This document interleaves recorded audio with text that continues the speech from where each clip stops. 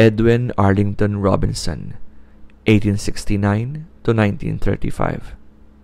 Robinson is an American poet who won several Pulitzer Prize awards for his poems. His most famous is Richard Cory. Richard Cory by Edwin Arlington Robinson.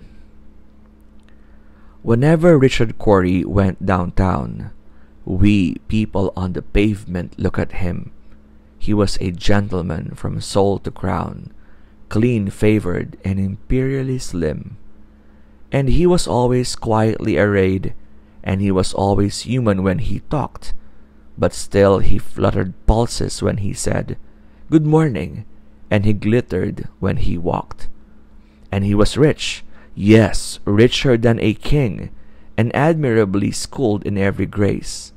In fine, we thought that he was everything to make us wish that we were in his place. So on we worked and waited for the light, and went without the meat and cursed the bread.